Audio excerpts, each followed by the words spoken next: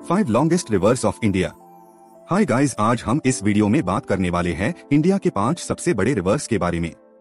Video की ओर जाने से पहले चैनल को सब्सक्राइब करना ना भूले और बेल आइकन को भी प्रेस कर ले ताकि आप न्यू वीडियो मिस ना करें। तो चलिए वीडियो की ओर चलते हैं। नंबर पाँच पे है नर्मदा रिवर नर्मदा रिवर भारत में सबसे पवित्र नदियों में से एक है और यह देश की पांचवी सबसे बड़ी नदी है। नर्मदा रिवर की लेंथ लगभग 1312 किलोमीटर है। यह मध्य प्रदेश के अमरकंटक पहाड़ों से उत्पन्न होती है और महाराष्ट्र, गुजरात और मध्य प्रदेश के राज्यों से बहती हुई अरब सागर में मिलती है। नर्मदा नदी को कई हिंदू लोग एक देवी के रूप में मानते हैं और इसमें शुद्ध करने की शक्ति भी होती है, ऐसा भी माना जाता है। नर्मदा रिवर एक विविधता से भरी जंगली जीव जंतु जैसे मुग्गर, मगरमच्छ और भारतीय स्किमर पक्षी का घर भी है। यह नदी इरिगेशन और हाइड्रो पावर को जनरेट करने के लिए एक इम्पोर्टेंट सोर्स है और यह बहुत से हिंदू तीर्थ स्थलों में से एक भी है।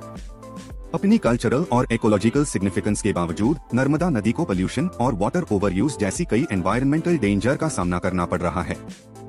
रिवर के वाटर को और उसकी रिसोर्सेज को सही से यूज़ में लिया जाए और उसकी रिच बायोडिवर्सिटी को भी प्रोटेक्ट करने के लिए काफ़ी एफर्ट्स किए जा रहे हैं। नंबर चार पे है Yamuna river Yamuna river northern India में सबसे इम्पोर्टेंट रिवर्स में से एक है और यह देश की चौथी सबसे लंबी नदी है। यमुना रिवर की लेंथ की बात करें तो ये लगभग एक हज़ार तीन सौ छिहत्तर किलोमीटर लंबी है। यह हिमालय के यमुनोत्री ग्लेशियर से उत्पन्न होती है और उत्तराखंड, हिमाचल प्रदेश, हरियाणा, दिल्ली और उत्तर प्रदेश के राज्यों से होकर गुजरती है, फिर लास्ट में इलाहाबाद में गंगा से मिल जाती है। यह नदी कई हिंदुओं द्वारा पूजनीय है और गंगा की बहन मानी जाती है। यमुना इरिगेशन और पीने के पानी के लिए एक इम्पोर्टेंट सोर्स है और कुछ विलुप्त प्रजातियों सहित डिफरेंट डिफरेंट टाइप की अक्वाटिक लाइफ के घर भी है। हालाँकि ह्यूमन एक्टिविटीज़ के चलते, जैसे अनट्रीटेड सीवेज और इंडस्ट्रियल वेस्ट के कारण नदी भी काफ़ी ज़्यादा पोल्यूटेड हो गई है, और जिससे रिवर की इकोलॉजिकल हेल्थ नीचे जाती जा रही है। नदी को साफ़ करने और इसके रिसोर्सेस को सही से यूज़ करने के लिए एफर्ट्स किए जा रहे हैं। नंबर तीन पे है कृष्णा रिवर कृष्णा रिवर भारत की प्रमुख नदियों में से एक है, जिसकी लेंथ लगभग 1400 किलोमीटर है।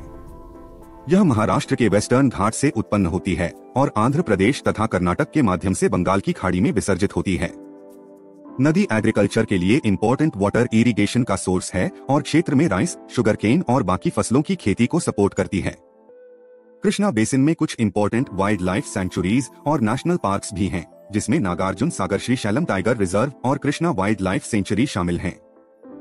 नदी के तटों पर कुछ महत्वपूर्ण और लोकप्रिय मंदिर और तीर्थ स्थल भी हैं, जिसमें कुछ ऐतिहासिक मंदिर शामिल हैं। नंबर दो पे है गोदावरी रिवर। गोदावरी नदी भारत की दूसरी सबसे लंबी नदी है जिसकी लंबाई लगभग एक हज़ार चार सौ पैंसठ किलोमीटर है। यह महाराष्ट्र के वेस्टर्न घाट से उत्पन्न होती है और तेलंगाना आंध्र प्रदेश और ओडिशा के माध्यम से बंगाल की खाड़ी में विसर्जित होती है। रिवर खेती के लिए महत्वपूर्ण वाटर रिसोर्स है और क्षेत्र में कॉटन शुगर केन और अन्य फ़सलों की खेती को समर्थन प्रदान करती है गोदावरी बेसिन में कुछ इम्पोर्टेंट वाइल्ड लाइफ सेंचुरीज और नेशनल पार्क्स भी हैं, जिसमें पापीकोंडा वाइल्ड लाइफ सेंचुरी और किंद्रासानी वाइल्ड लाइफ सेंचुरी शामिल हैं। नदी के तटों पर कुछ महत्वपूर्ण और लोकप्रिय मंदिर और तीर्थ स्थल भी हैं, जिसमें कुछ ऐतिहासिक मंदिर शामिल हैं। गोदावरी पुष्करालू एक मेजर हिंदू फेस्टिवल है जो हर 12 साल में नदी के तटों पर मनाया जाता है नंबर एक पे है गंगा रिवर। गंगा रिवर भारत में सबसे पवित्र रिवर्स में से है और इसे अक्सर गंगा के नाम से जाना जाता है। यह लगभग 2525 किलोमीटर की लंबाई की सबसे लंबी नदी है। यह नदी हिमालय से उत्पन्न होती है और उत्तराखंड, उत्तर प्रदेश, बिहार और वेस्ट बंगाल के राज्यों से होकर बंगाल की खाड़ी में बहती है। गंगा एग्रीकल्चर के इरिगेशन के लिए एक इम्पोर्टेंट सोर्स है और क्षेत्र में राइस वीट और शुगर केन जैसी फ़सलों की खेती में उपयोगी है। गंगा बेसिन में कुछ इम्पोर्टेंट वाइल्ड लाइफ और नेशनल पार्क्स हैं, जिनमें दूधवा नेशनल पार्क और वाल्मीकि नेशनल पार्क शामिल हैं। नदी के किनारे कई महत्वपूर्ण तीर्थ स्थल हैं, जिनमें वाराणसी हरिद्वार और इलाहाबाद शामिल हैं। हिंदू धर्म में इस नदी का बहुत महत्व है और उनका मानना है कि नदी में स्नान करने से उनके पाप धुल जाते हैं और मोक्ष प्राप्त होता है आई होप ये वीडियो आपको अच्छी लगी होगी अगर वीडियो अच्छी लगी तो वीडियो को लाइक करें, नीचे कॉमेंट करे और चैनल को सब्सक्राइब ज़रूर करें।